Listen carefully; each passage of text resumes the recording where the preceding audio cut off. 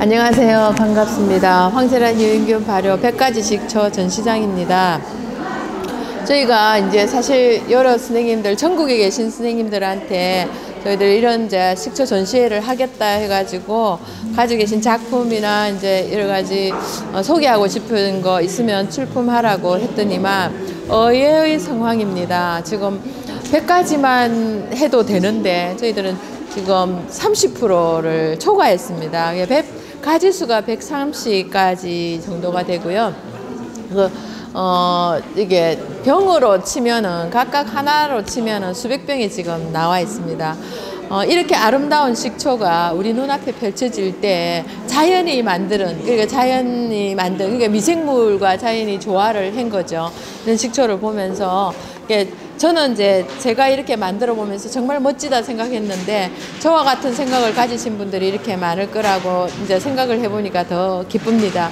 그리고 이제 어 이렇게 저희들이 이렇게 쭉 돌려서 여러분들한테 보여드리는 것을 보시면은 식초가 전부 다 지가 가진 색깔을 어 여러분들이 이렇게 그 감상하실 수 있도록 보여주고 있습니다.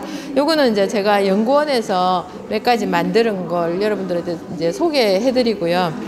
어, 또 이제 어, 더 많이 있지만은 지금 한꺼번에 제가 제게 너무 많이 나와버리면 너무 출품을 이렇게 많이 해버린 것 같아서 어, 저는 다음번에 또 하는 걸로 좀 남겨놨고요. 몇 가지만 이렇게 가져와 봤습니다. 요거는 인삼식초입니다. 인삼식초인데 어, 흑초가 되어 있습니다. 이, 이거가 지금 갈색으로 나와 있지만은 요거는 좀 연한 건데 어떤 거는 거의 검은색으로 변해 있었습니다. 그런데 제가 이제 인삼은 어떤 분은 지금 맑은 노란 걸로 나와 있고 미색으로 나와 있는데 어, 저기 나중에 나오겠지만 바나나도 검게 돼 있습니다. 그래서 발효를 계속 하다가 보면은 어느 틈에 그 진한 흑초로 변한 거예요. 현미만 흑초가 되는 게 아니고 흑초가 되는 종류들은 뭐든지 그 가능성이 있다는 거죠. 흑초가 좋다라는 걸 어, 증명이라도 해주듯이 그렇게 나왔습니다. 그래서 인삼도 이렇게 어, 짙은 브라운색으로 나와 있고요. 이거는 포도 식초입니다.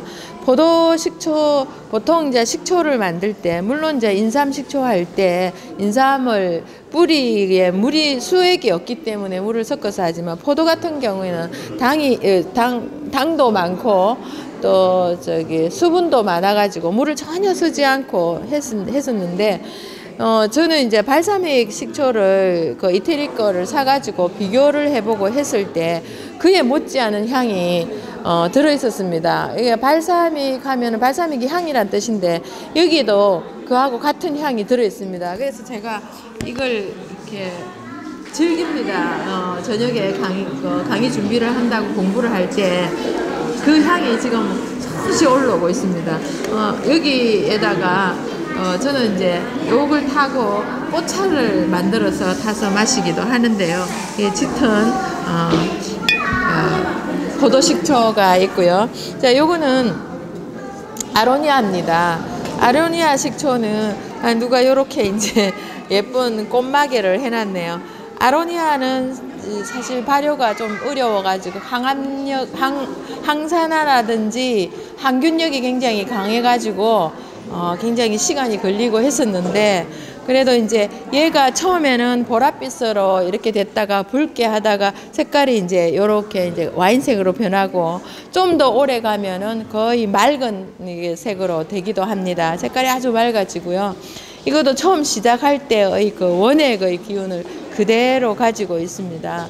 어, 한번 여러분들도 한번 도전해 보시고 이제 이렇게 어, 식초를 한번 이렇게 정을 들여 보시면 식초는 모세혈관 청소에 좋다는 이야기를 많이 하죠. 실제로 저도 그런 걸 많이 느끼고요. 한때는 저도 머리가 많이 빠져가지고 좀 마음고생을 했었는데 지금은 머리 숱이 많아가지고 이렇게 묶어 있으면 무겁습니다.